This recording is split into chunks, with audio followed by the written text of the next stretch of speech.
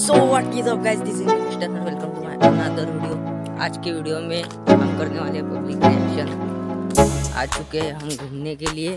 देखते हैं कुछ पब्लिक रिएक्शन होगी कि नहीं. जैसे भी हो, अच्छे हो. So let's start start